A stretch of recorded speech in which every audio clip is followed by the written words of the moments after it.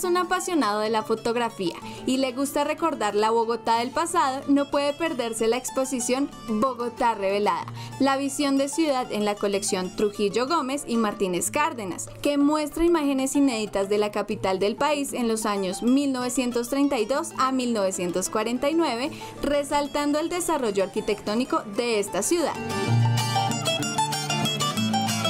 Esta es una exposición que va a mostrar de manera eh,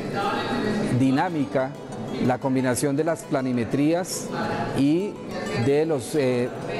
películas o los videos fílmicos que tenemos sobre cómo se construyeron los edificios emblemáticos de Bogotá. La exposición que se lleva a cabo en el archivo distrital muestra por primera vez cerca de 5.300 planos, entre documentos, fotografías y videos que han estado resguardados por más de 40 años en la familia Martínez Cárdenas.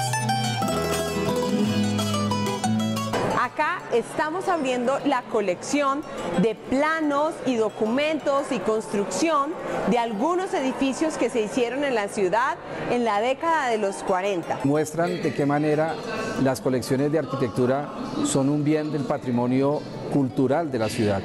que combinado con otros patrimonios, pues obviamente nos dan cuenta de cómo es la historia de la arquitectura de la ciudad. La riqueza audiovisual de la capital durante la primera mitad del siglo XX es el ingrediente principal de esta exposición, cuyos planos fueron donados al Archivo de Bogotá en 2005 y que ahora pueden ser conocidos por todos los habitantes de la capital del país.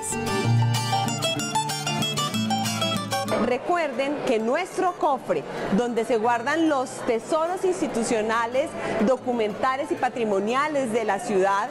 está digital. Ustedes pueden entrar a la página de la Secretaría General, a la página del archivo y buscar el cofre. Allí encuentran el gran listado de todos los tesoros del patrimonio documental que tenemos en la ciudad. Bogotá Revelada estará abierta al público de manera permanente de lunes a viernes de 7 de la mañana a 4 y media de la tarde hasta diciembre en la sala de exposiciones del Archivo de Bogotá y su entrada es gratuita.